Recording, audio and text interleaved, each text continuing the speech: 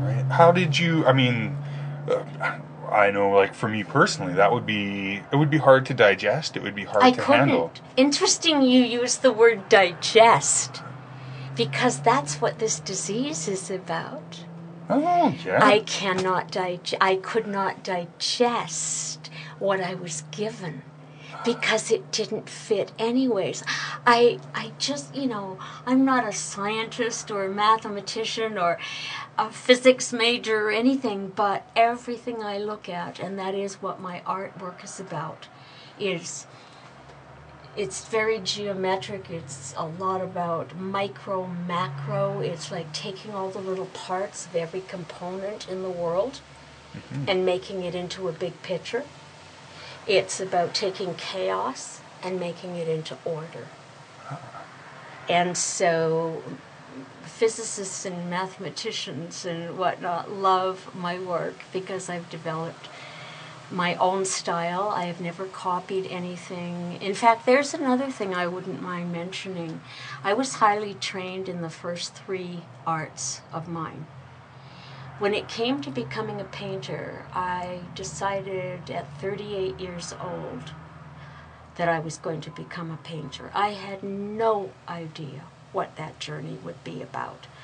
However, now, did you know you had new, uh, no idea, or did you have certain preconceptions and then realized you had no idea?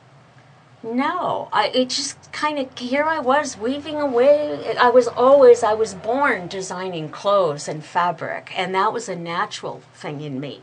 So that was starting to make sense why I found the weaving.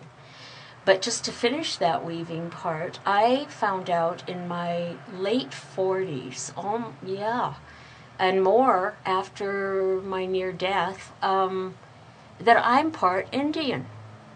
I'm Ojibwa.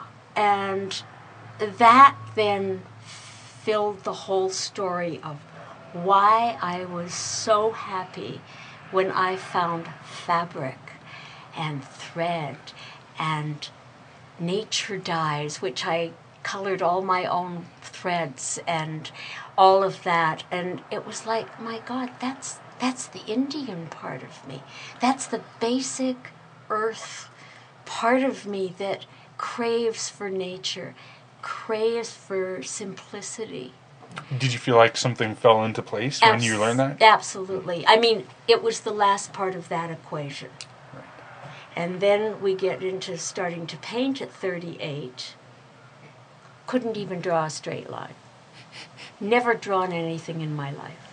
Did you have a vision of what you wanted to No. paint, or you just had No. this vague idea No. that you No. wanted to be a painter? I wanted to be a painter. My third husband said I was a true artist, and I asked him one day, Why do you say that? What do you mean? And he said, Well, you know, I'm I dabble, I'm a musician, I'm this, I'm that, but he said, You live it. You live your fabric. You you everything is about around you. Your whole ambience is about fabric and and nature and and he said I feel so Suto myself he said because I try a little this and then I do a little of that and he said and so I fell in love with him because he was the first human being in my entire life that didn't give me a bad time. He honored and revered what I was from a very deep place. And I had been starving, again, starving.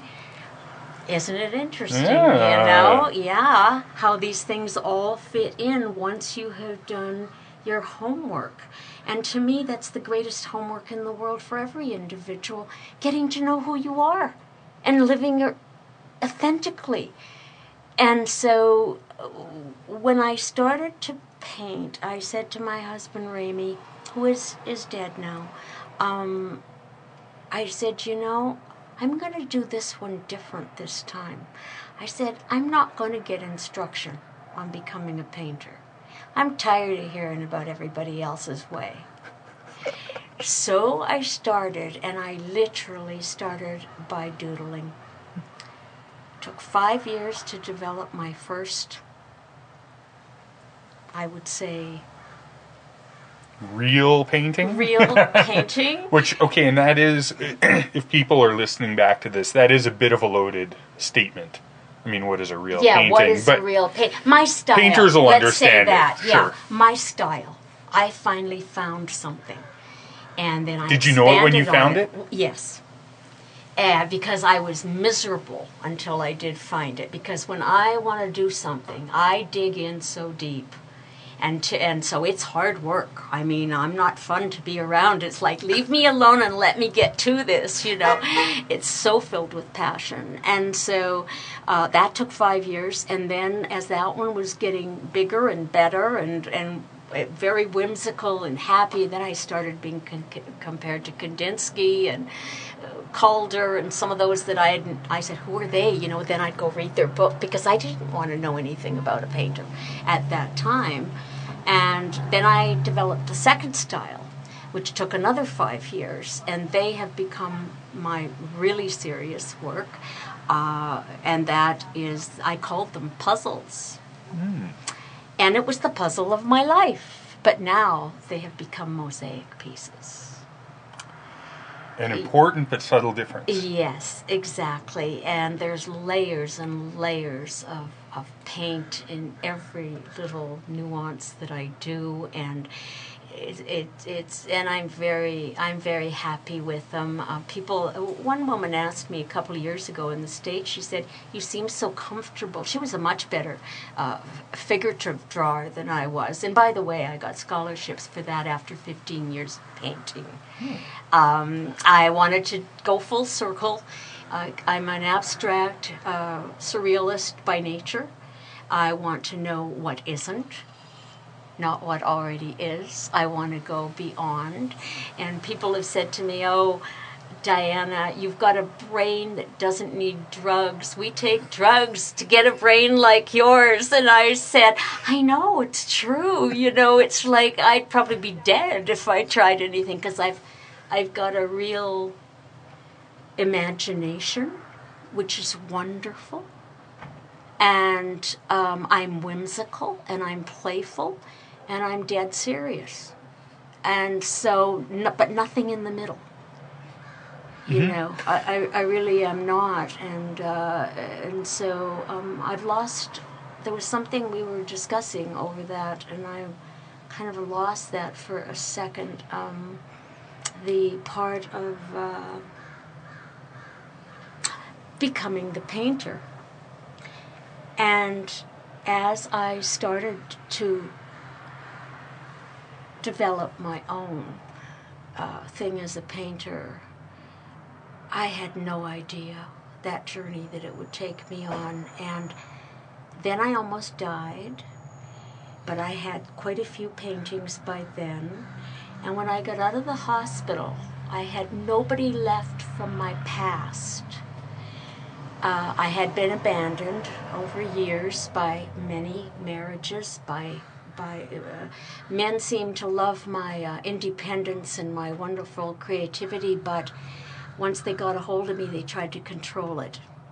Do you was that? Uh, would you say that was similar to all your marriages? Yes. Now the reason that I ask is because uh, I mean I was married once myself, Mm-hmm. and it's a lot of emotion. It's a I mean it's a big deal. It is. and to It's huge. so what come the question that comes up in my mind is just gonna wait for that. The question that comes up in my mind is that because it's such a big deal to put yourself through that ordeal mm-hmm. 5 times i mean was it was it a quest? Was it like did you feel like you were trying to achieve something? Or was it just that you were told that you were supposed to be married and you felt like you needed to um, you know that you needed to do that and keep trying or like I'm, I'm kind of wondering out of that section We Oh. can sit here. oh Yes. sure Yeah. actually here i would love to take a second and take my shoes off because i've been in them all day Sure, absolutely. and absolutely. i saw you in your socks and i was like I oh you know what I got- know. Well, I spin without shoes. Ah. I weave without shoes. Ah. I usually don't wear shoes. And these are the parts of me that, um, that realized how Indian that is of me, if I may say it that way. you know, I uh, and and then I think a lot of the feistiness in me comes from I'm Celtic as well, and I'm Spanish. Huh. So you know, it's like yes, I you know I've got this thing. Did you want to sit down here? Okay. Sure. Um, so. Is this um, okay? Yeah, this is great. Um, so, in answer to that part about What um, oh, I was wondering about your marriages The and what, marriages, what was sort of behind it. Uh, Well, you had mentioned one thing, and that was, you know, you're told as a child that this is what you're supposed to do, or your environment that you're in, this is what is expected of you. Uh, and so I did it. And then I got hit in my marriage, and so I left. But even my parents said, stay. Now, you see, to me, that is absolutely unacceptable. Mm-hmm. Your parents want you to go back to what had hurt you, what could hurt your children when they're young, all in the name of the status quo. I'm sorry. Uh, so then I had a second one, and I married very. I was married to a very wealthy man. I didn't know that. I don't marry because of money or no money.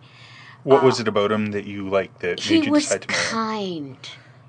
He he he was good with my boys. Uh, he was good with me. He was older than I was, and now when I look back now, it was it was my dad. First one was, you know, young love Right. had my children. Second one was dad, and I eventually I left a very very wealthy left life behind because again it was all about things, boats and cars and houses and equestrian centers and blah blah blah. You know, and I'm going, who am I? In all of this, it was also the seventies. Now, what does that mean? it was what I would say are our were our wild breaking through times, the '60s, the '70s, uh, experimental uh, relationships. Uh, um, I, I I got married uh, a virgin, and what did I know? You know, nothing except I had children. You know, and so there was all of those issues. And then my third husband was about So, oh, just uh, okay. So, when leaving your second husband, was it just that you you kind of got fed up with all the trappings and found that you couldn't exist as yourself within that? Is that kind of what we're talking about? That's that's pretty much right on. It was um, it was taking care of things. And I'm going, you know, I've never been materialistic. I like people because of who they are, not how much they've got. And so there was that. Then there was Was- the becoming a slave to materialism. You know, you have to have somebody look after your houses, or you have to look after them. You've got to go and take the barnacles off boats. You've got to, you know, I mean, there's a lot to do. right. And I'm thinking, but I'm not interested in any of this. And then there was also the 70s was was experimental uh, relationships and that kind of thing. And we thought that might. We were very honest and open about it, but it. We thought that it would bring us back closer because we were being honest and open to each other. We ran a wonderful home um, we it, it was fine for a while and then it was it really did separate us